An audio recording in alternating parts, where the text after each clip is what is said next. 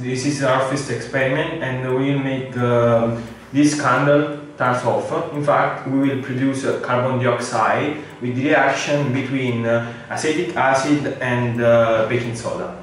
In this experiment, carbon dioxide will be produced and uh, with this uh, gas, oxygen will come out so that the candle will turn off because it needs oxide to combust.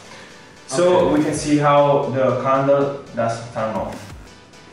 Okay, now I have to do the reaction between the uh, baking soda and the acid, uh, acetic acid in this jar.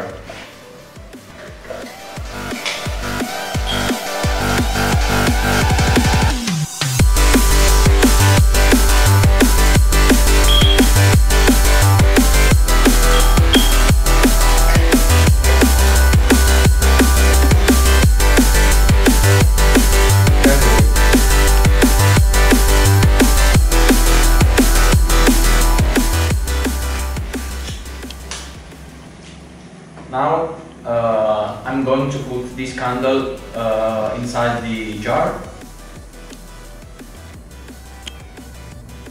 and we can see that the flame turned off.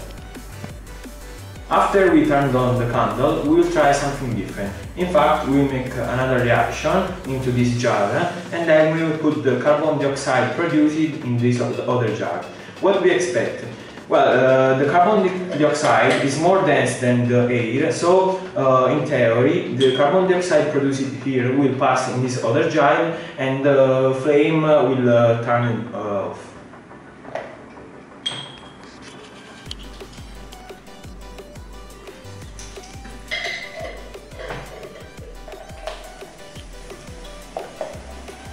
Okay, now verify the reaction.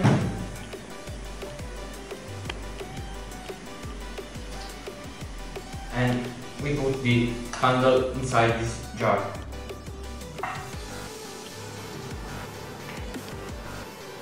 Okay, so the experiment is successful. Okay guys, if you like this video that is the first of a long series, you can subscribe to the channel to follow us and you can like the video and share it.